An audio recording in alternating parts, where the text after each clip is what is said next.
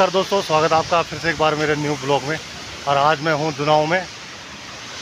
और ये गिर रहा है यहाँ पे झरना से। मैं दिखाता हूँ, ये झरना, इतना बड़ा झरना गिर। नज़दीकी से ले चलता हूँ? तो ये दुनाव का झरना क्योंकि नया नदी है, नीचे। और ऊपर से गिर रहा है झरना।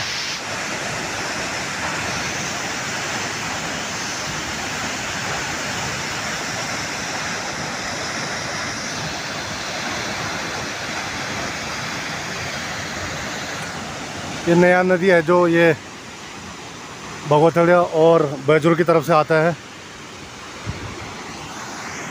और यहाँ जाके और ये पुल है। इधर कोटद्वार को रोड चली गई। सतपुली कोटद्वार की तरफ़। ये लिखा भी है इसमें, ये बीरू खाल से रिखड़ी खाल। और ये रोड इधर को जा रही है रोड। ये जाते कोटा लहंगा और सेंदार की तरफ़।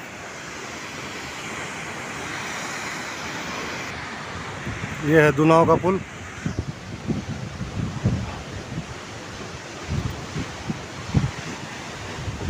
इस पुल में आज मैं कम से कम 25-30 साल बाद आ रहा हूँ।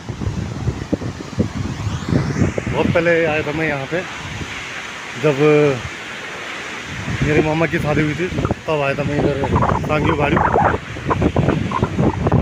तो उसके बाद आज यहाँ पे स्कूल की तरफ़ आना हुआ।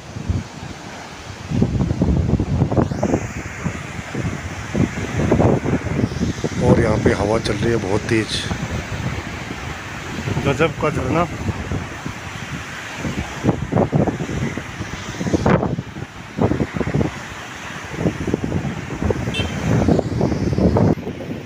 और इस समय यहाँ पे रोडवेज़ भी आ गई।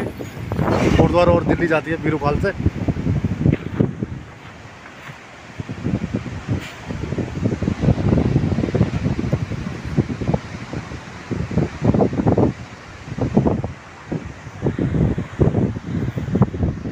जो क्या छू गाना भी हाँ बोला नहीं। नहीं नहीं बोला ना।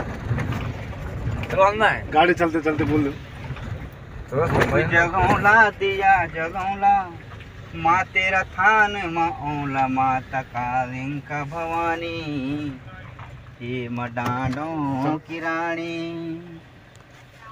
शीश नौला गोबंद हुला कन को भी ते थे मनौला माता कालिंका भवानी हे मडाडो की रानी। पहुँचू नहीं दे तो यहाँ पर होता है खटलगढ़ नदी और नयार नदी का संगम। नयार नदी आती है बेजूर की तरफ़ से और खटलगढ़ नदी आती है रशिया महादेव मैठाना घाट की तरफ़ से।